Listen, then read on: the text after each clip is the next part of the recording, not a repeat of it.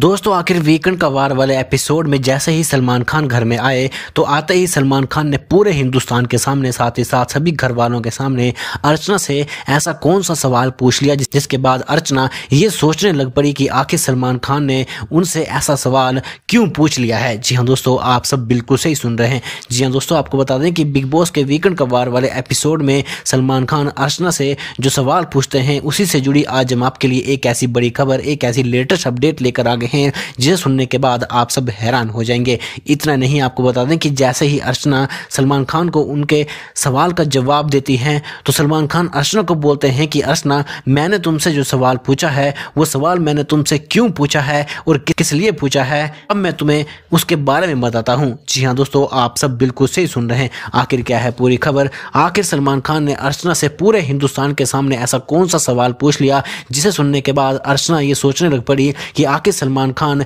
उनसे ये सवाल क्यों पूछ रहे हैं? चलिए आपको बताते हैं इस वीडियो में, लेकिन इससे पहले आपको बता दें कि बिग बॉस से जुड़ी हर बड़ी खबर के लिए हमारे चैनल को ज़रूर सब्सक्राइब करें। जी हाँ दोस्तों, दरअसल आपको बता दें कि इस बार बिग बॉस के घर में अर्चना और एमसी स्टैन के बीच इतनी ज़्यादा ज़बरदस्त लड़ाई हो गई थी कि इन दोनों की ये लड़ाई हाथापाई तक पहुँच गई थी। लेकिन साथ ही साथ आपको बता दें कि इस लड़ाई को लेकर आज हर जगह इतनी चर्चाएँ इसलिए हो रही हैं क्योंकि इस लड़ाई में आपको बता दें कि अर्चना और एमसी स्टैन ने एक दूसरे को इतनी ज़्यादा गंदी गंदी गालियाँ दी थी। ये सुनने के बाद आज पूरा हिंदुस्तान, साथ ही साथ सलमान खान और सभी घर वाले हैरान हो गए हैं। इसीलिए आपको बता दें कि जैसे ही वीकेंड का वार वाले एपिसोड में सलमान खान घर में आए तो आते ही सलमान खान ने घर की सदस्य अर्चना से पूछा कि, अर्चना, तुम सबसे पहले मेरे एक सवाल का जवाब दो। और वो सवाल यह है कि, तुम आखिर रहने वाली कहाँ की हो? और फिर सलमान खान के पूछने पर अर्चना ने कहा कि, सलमान सर, मैं मेरठ की रहने वाली हूँ। मेरा घर मेरठ में है। और फिर आपको बता दें कि जैसे ही अर्चना ने सलमान सर से ये कहा कि, सलमान सर,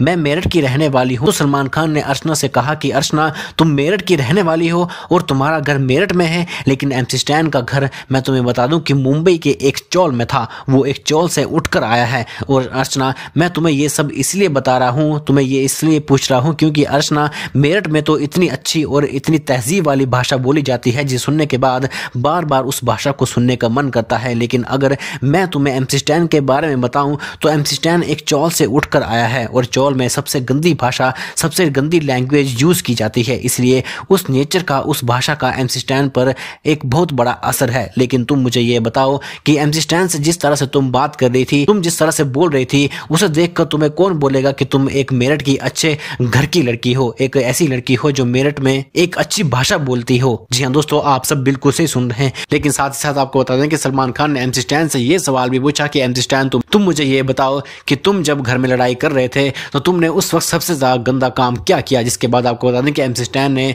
सलमान सर से कहा कि सलमान सर उसकी माँ के बारे में बोला, जो हर बड़ी खबर के लिए हमारे चैनल को ज़रूर सब्सक्राइब